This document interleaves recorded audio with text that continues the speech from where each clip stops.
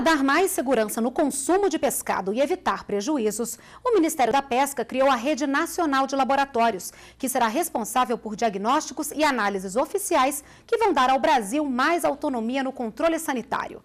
O repórter Adilson Mastelari tem ao vivo as informações. Adilson, boa noite.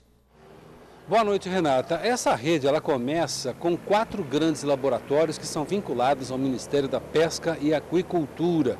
E para falar mais, para saber mais sobre isso, eu vou conversar agora com o Henrique Figueiredo, que é diretor de monitoramento e controle do Ministério da Pesca e Aquicultura. Qual o objetivo dessa rede? Como é que ela vai atuar?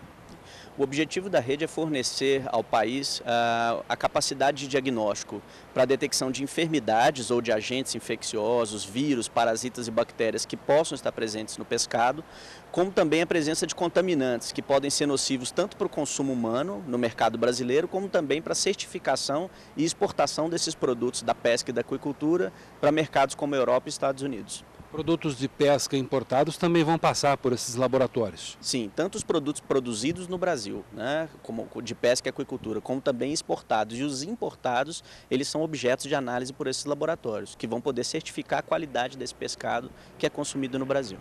O número de quatro laboratórios é suficiente para começar a fazer esse trabalho?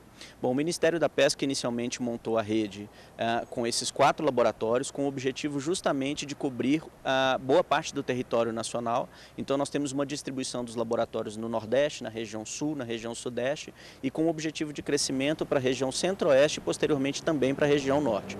Mas os quatro laboratórios estabelecidos, eles já têm uma capacidade instalada para atender a todo o território nacional nesse momento. Eles estão em pontos estratégicos. Sim, nós temos um laboratório localizado no estado do Maranhão, que atende a toda a região Nordeste e também a região Norte. Nós temos um laboratório central auditor dessa rede no estado de Minas Gerais e também laboratórios no Sul que fazem a cobertura dessa região. Como são feitas essas análises? É pelo processo de amostragem? Bom, ela pode ser feita pelo processo de amostragem, é, tanto dos produtos que são exportados, comercializados no Brasil e também os importados.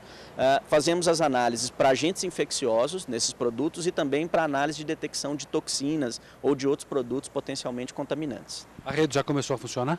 Sim, nós já temos os quatro laboratórios em estágio de funcionamento. Né? Agora, essa rede, a característica principal é ela operar sob o padrão ISO 17025, que é um padrão laboratorial internacional que garante que esses certificados também sejam validados no exterior. Então, para isso, esses laboratórios vão alcançar ao longo dos próximos dois anos o seu certificado de ISO 17025.